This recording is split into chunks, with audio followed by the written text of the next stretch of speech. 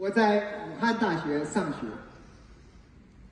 那个时候我家在县城，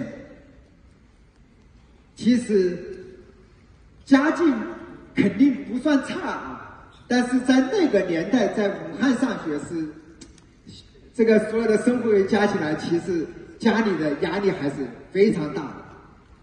所以呢，在这样的条件下的话呢。当年我努力学习啊，赚奖学金来养活自己。我拿到了当时武汉大学算是奖金最高的奖学金，叫光华奖学金，两千块钱。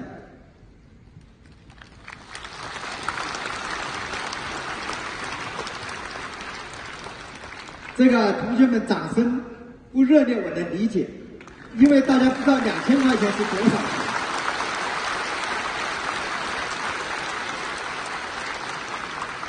在那个时候，我父母的工资大概四十到五十块，肯定比雷军奖学金要值钱。反正我在心里就暗暗发誓，等有一天，我希望我有能力，十倍、百倍、一万倍的还给武大。